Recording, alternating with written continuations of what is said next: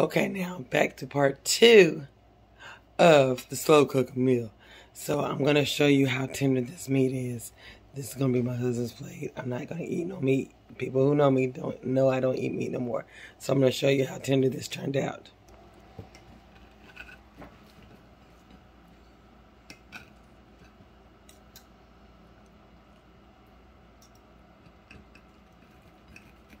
Look y'all, just that tender.